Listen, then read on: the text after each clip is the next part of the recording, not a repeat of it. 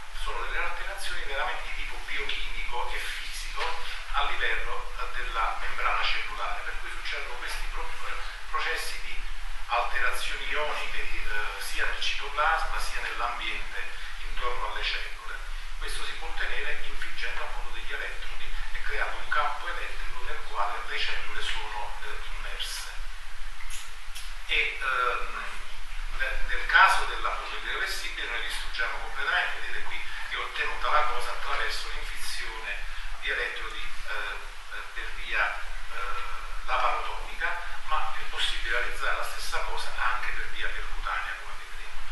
Per capire la differenza fra l'elettroporazione e l'ablazione, eh, io, a me piace sempre mostrare questo tipo di aspetto. Se immaginiamo che questo è un tessuto e la popolazione che vive in queste strutture è, sono le cellule, mentre i palazzi e le strade sono lo stroma, cioè praticamente l'impalcatura connettivale che regge le cellule,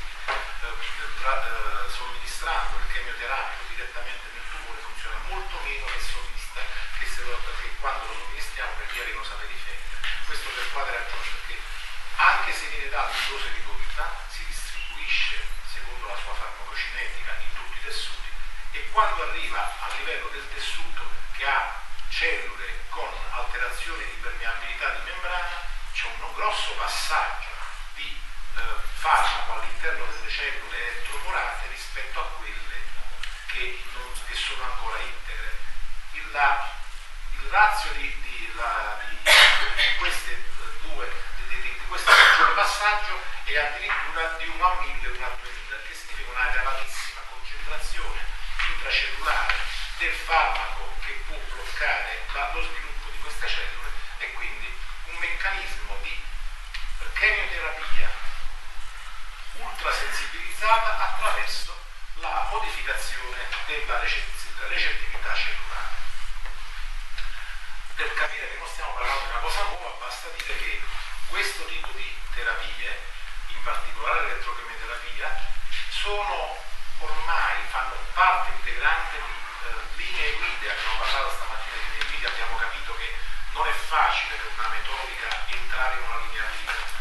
passare il vaglio di studi, il eh, trial randomizzati e una serie di valutazioni che mm, non sempre è facile produrre. Eppure l'elettrochemioterapia è ormai la linea guida del trattamento di, di tumori così importanti come il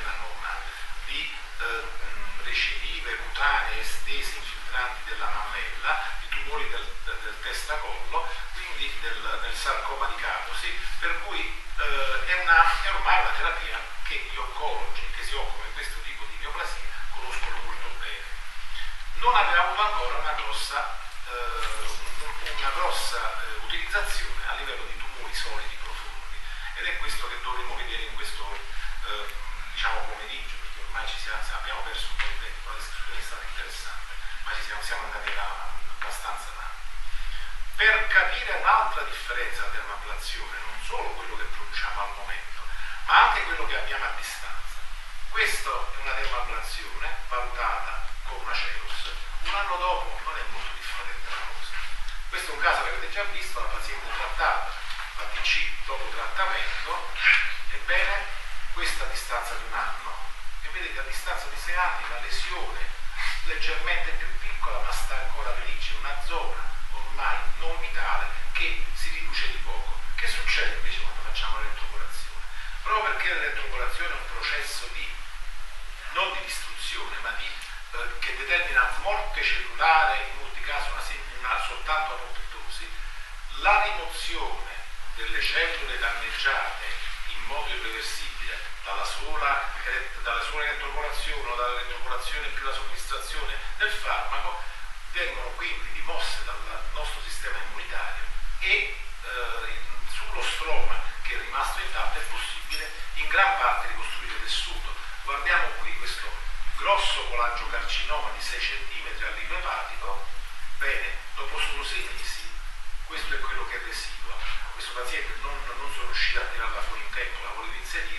abbiamo una valutazione a 18 mesi, questa scala che è leggermente più piccola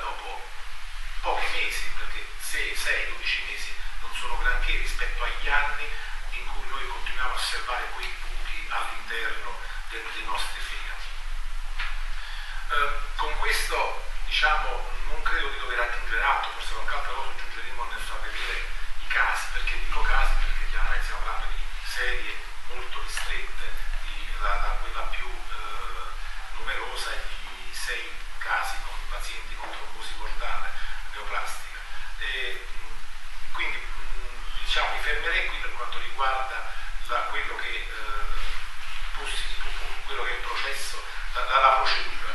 Eventualmente se qualcuno ha da fare domande possiamo approfondire un po' di più.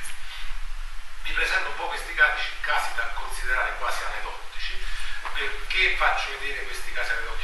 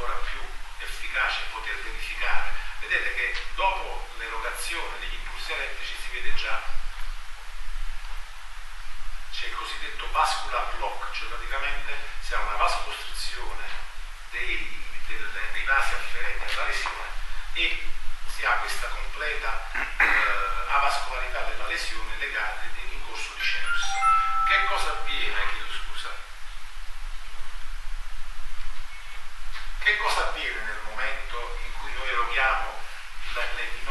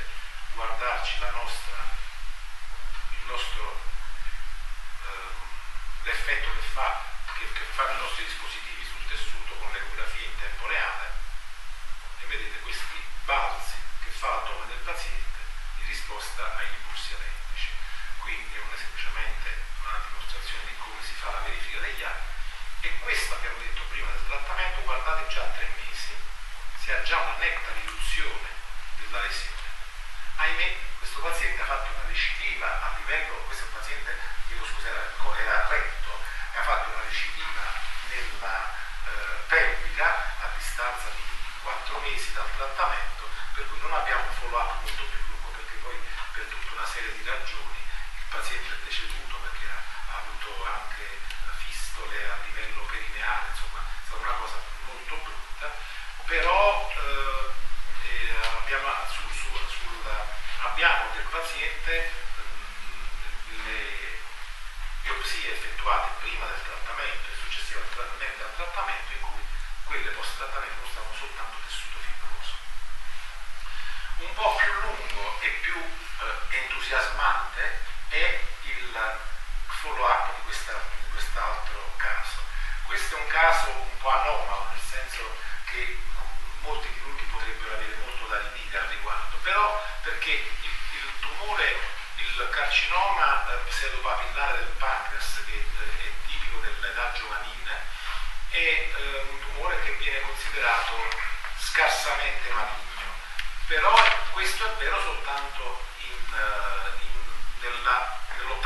90% dei casi.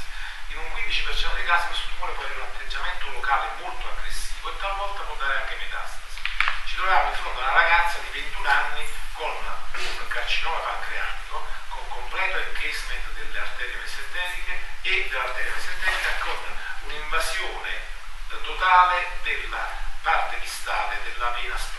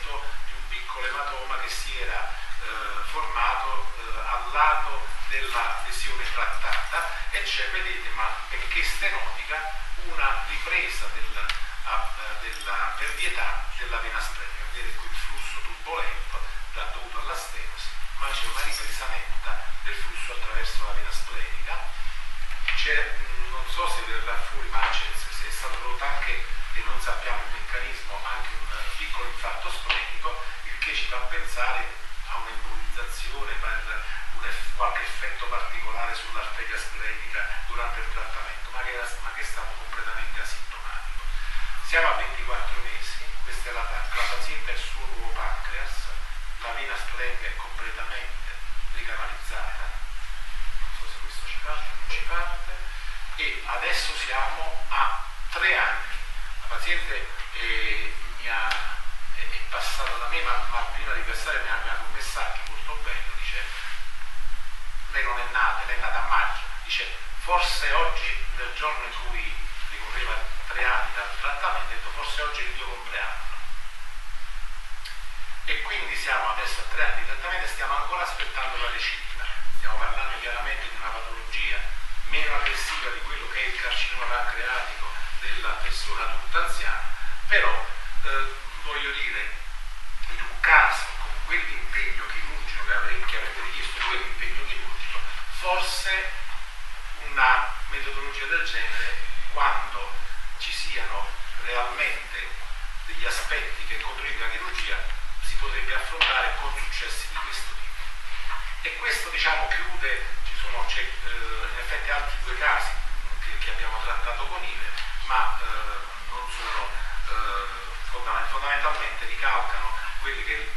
rispetto abbiamo visto che il paziente con eh, in particolare un colangiocarcinoma in cui ha che è una recidiva su una trancia dopo eh, l'esezione di una, eh, dopo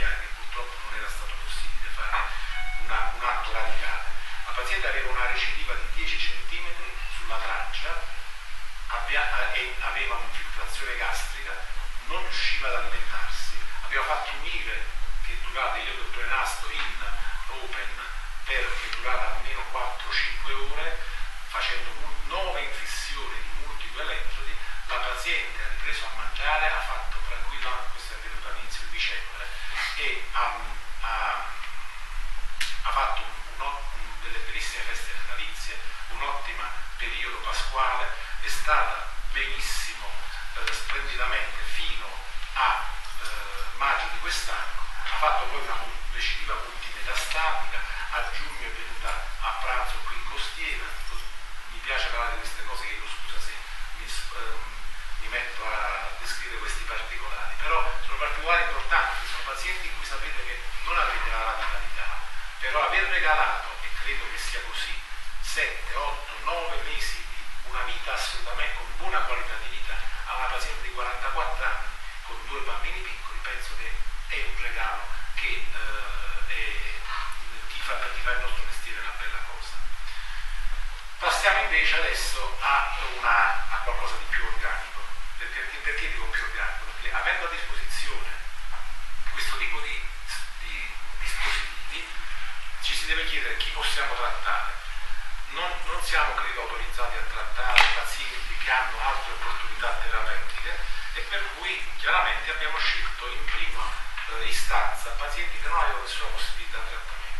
non il sorafenib, che in ogni caso non è escluso dalla possibilità di trattamento.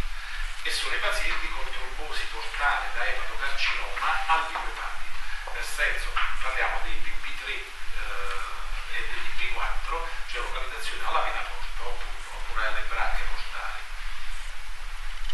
La, eh, la trombosi portale circa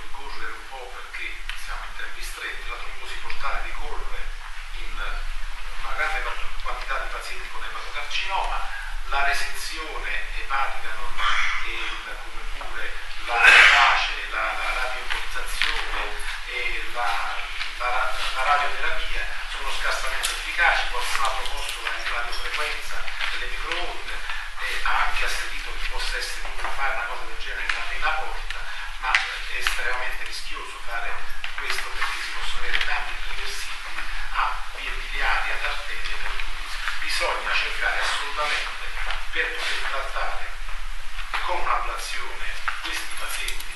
realizzare un'ablazione non termica perché il calore può danneggiare appunto queste strutture. L'elettrocolazione nella nostra intenzione e nella nostra opinione poteva essere utilizzata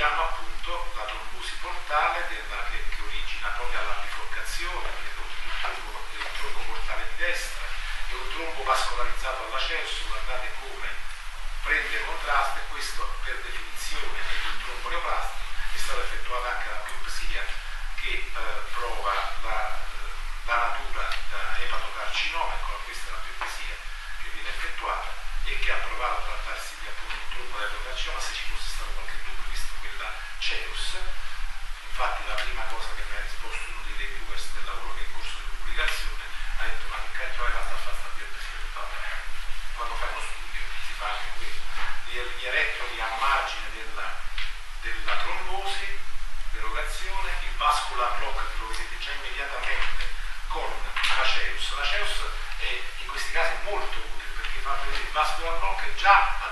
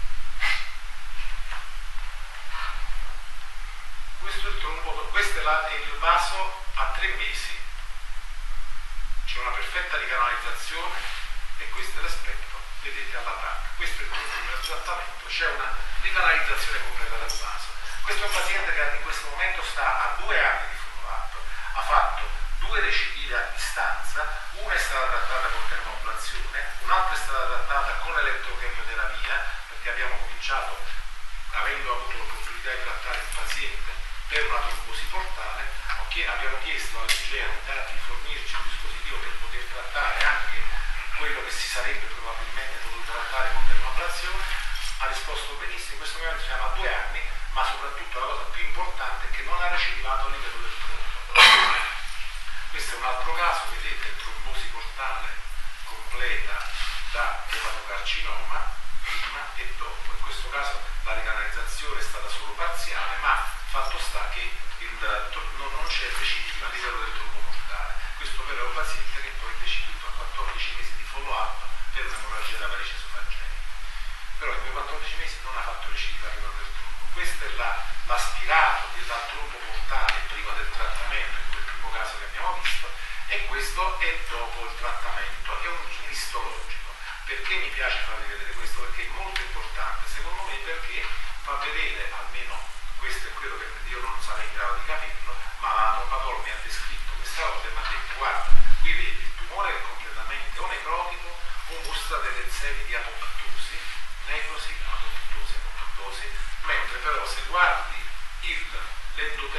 la parete vascolare è perfettamente integra. Quindi abbiamo la, queste metodologie, almeno in teoria, sono di una precisione non chirurgica, molto di più. Diciamo che in questo caso la chirurgia sarebbe eh, teoricamente un po' grossolana rispetto alla terapia, che invece è una precisione di tipo biologico. Speriamo che questi dati siano confermati. Questi sono i dati che abbiamo, eh, che sono in corso di pubblicazione, vi ripeto, ancora il, eh, ci sono, non ci sono state recidive locali a livello del tronco, abbiamo avuto delle recidive a distanza che sono state trattate. Eh, tre altre recidive a distanza, di cui in due casi sono state trattate. Questo è un caso in cui abbiamo inserito tre elettrodi lungo il percorso della trombosi della branca destra, tre, tre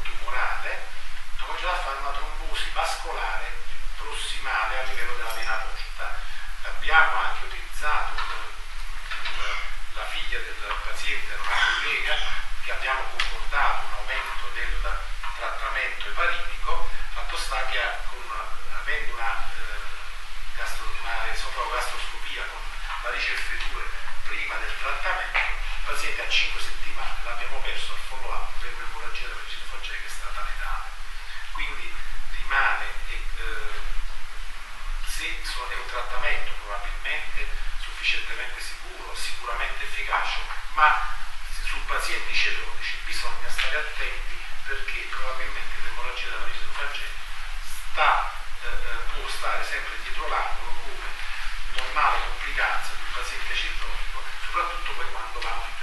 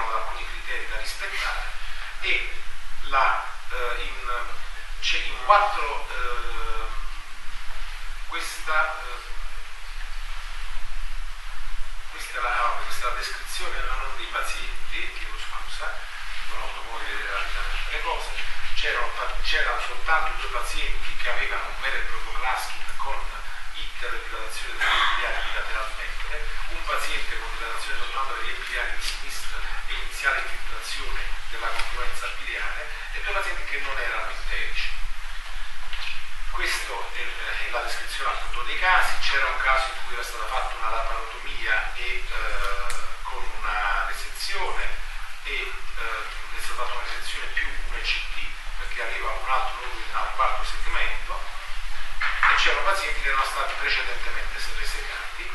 Questi sono i risultati, abbiamo avuto una necrosi completa all'imaging in tre pazienti e una necrosi subtotale in altri due pazienti.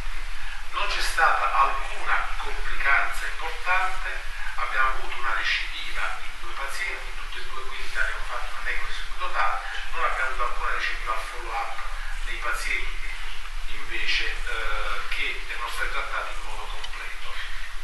Nessuna complicanza importante, una, eh, un versamento breve del paziente, alla TAC appunto a 4 settimane, necrosi completa in tre casi.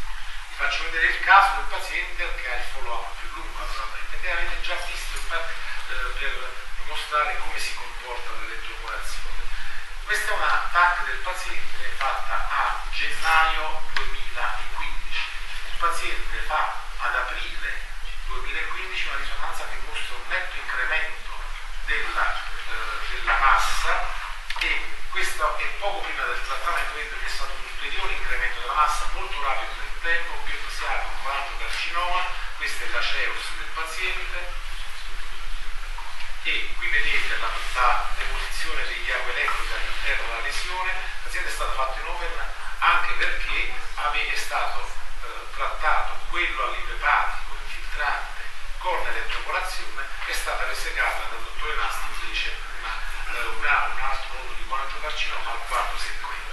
Questa è l'istologia pre-trattamento, questo è l'aspetto in CEUS post-trattamento, questo è l'aspetto CEUS a distanza di tre mesi, vedete una netta riduzione, la valutazione a sei mesi è quella che vedete qui ripeto adesso il paziente ha 18 mesi di della malattia a livello economico.